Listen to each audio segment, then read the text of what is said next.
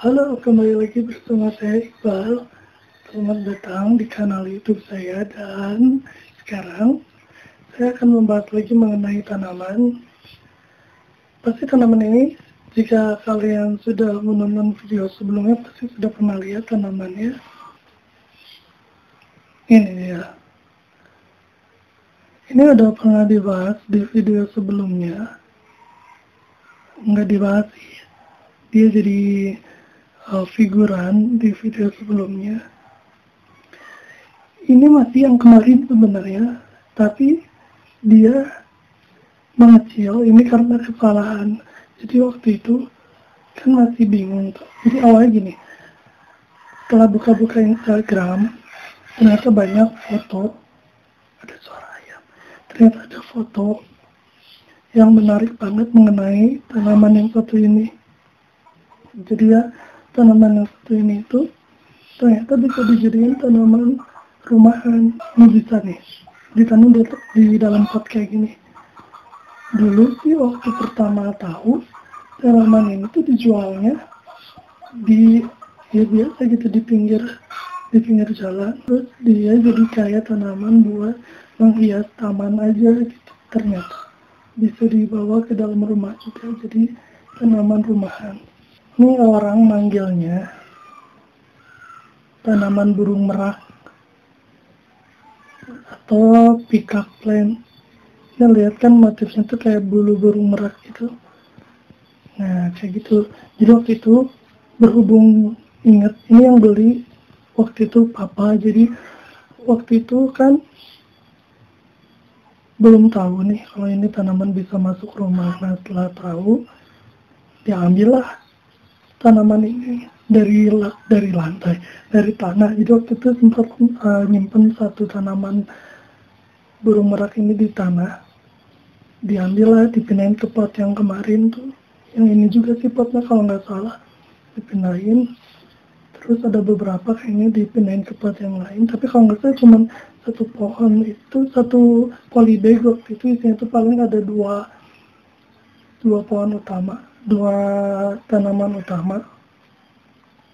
Jadi dipindahin dan waktu itu kan masih pertama kali jadi overprotect. Akhirnya ya bingung kan keriting kenapa?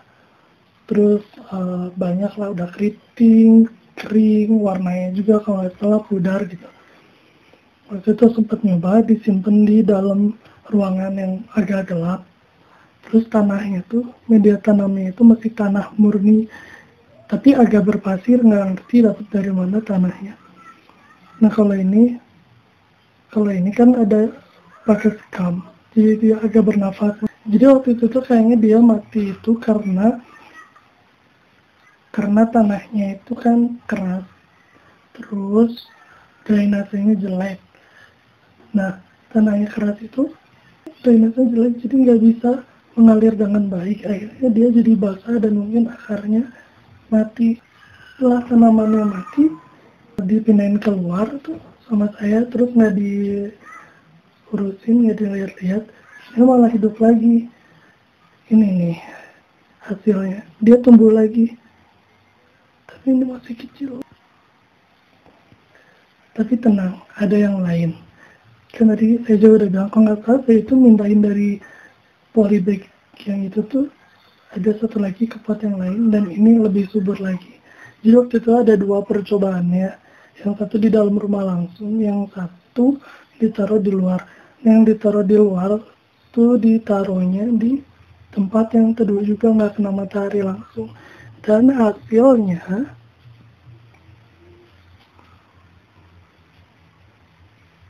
ini hasilnya. Jadi hasilnya itu seperti ini. Coba dilihat. Nah jadi dia daunnya lebih cerah ya. Terus lebih kelihatan sehat. Ini saya tanam sama anthurium ini ada yang warna merah nih. Nih ya. Dia mau jadi anthuriumnya jadi saya tanamnya di satu pot tempel. Pot tempel. Saya pindahin dulu ke sini biar keperluan videonya bagus. Jadi dia itu di dalam pot kayak gini dia bisa tumbuh subur. Dan bunga anturiumnya juga tumbuh subur. Dulu mereka masih kecil-kecil. Sekarang udah gede. Ini ukurannya jauh lebih besar dari yang pertama kali mereka tumbuh di dalam pot itu. Dan ini udah lama anturiumnya juga nggak baru nggak berbunga sekarang mulai berbunga lagi ini lihat nih. Yang paling gede kayaknya ini deh daunnya kelihatan nggak?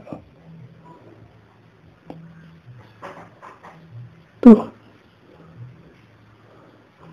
Jadi dia tumbuhnya itu lucu ya. Awalnya tuh kayak berbentuk corong dulu. Corong yang uh, yang lebih besarnya ada di atas.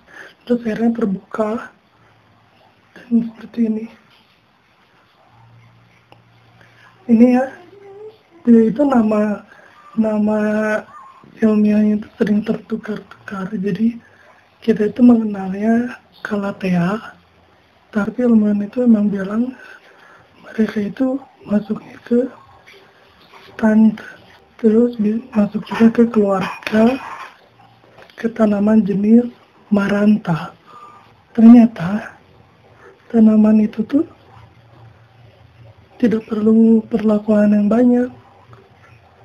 Dia itu hanya perlu disimpan aja disiram akhirnya jadinya kayak yang tadi. Kayak gitu. Ini bagus sih awalnya nggak nyangka bakal uh, rimbun. Tapi pernah juga waktu itu lihat di fakultas. Dia nanamnya emang di polybag juga gak menarik lah pokoknya. Tapi karena memang tanamannya menarik walaupun potnya nggak menarik dia itu tetap kelihatannya lucu. Karena lebih rimbun dari yang saya punya juga lebih lebih besar kalau nggak salah. Sebesar yang tadi yang paling besar di sini kalau nggak salah. Jadi dia ditaruh di pojokan di dalam polybag warna putih. Karena tanamannya emang warnanya bagus, kontrasnya bagus, jadi menarik perhatian juga. Jadi tanaman itu juga cukup tanahnya lembab, tapi jangan sampai terlalu. Pencahayaan juga tidak harus kena matahari yang wah, panas. Gitu. Dulu sih mikirnya kayaknya harus kena matahari yang panas, ternyata enggak. Jadi dia bisa hidup di tempat yang berbayang, bisa tinggal di bawah naungan. Jadi kalau misalnya kalian tinggal di daerah yang panas, di kota, mau nanam tanaman ini, ini gampang banget. Kalian mau nanamnya di depannya di taman, terus ada bangku, dia bisa ditanam di bawah bangku. Maksudnya ditanam di bawah bangku tuh nanti potnya kalian taruh di bawah bangku itu, jadi hanya kena berkas-berkas cahaya, jadi dia bisa hidup gitu. Tapi jangan lupa disiram, jangan terlalu basah. Basah boleh sih, tapi usahakan drainasenya bagus jadi kalau udah disiram tuh airnya tuh harus keluar jangan ada yang mengendap kebanyakan mengendap di pot jadi dia nggak jangan sampai kekeringan biasa kalau kekeringan tuh pasti daun-daunnya itu bakal jadi keriting. Dia bakal keriting dia layu kering ya akhirnya rontok mati. Terus nggak tahu kalau misalnya bisa tumbuh lagi seperti ini atau enggak kan nggak ada yang jamin. Jadi kita usahakan dia punya drainase yang baik itu aja. Terus jangan lupa disiram. Dia nggak rewel sebenarnya Tanya juga nggak perlu dipupukin juga nggak apa-apa. Tapi kalau mau jangan terlalu banyak dan usahakan sih yang ini aja yang organik. Sepertinya untuk bahasan mengenai peacock plant. Tanaman burung merak. Sampai di sini aja dulu. Jangan lupa buat kalau mau ada tanaman yang mau dibahas dan mungkin kebetulan ada nanti akan dibuat videonya. Jangan bosan buat berkebun karena berkebun itu mengasihkan. Terima kasih.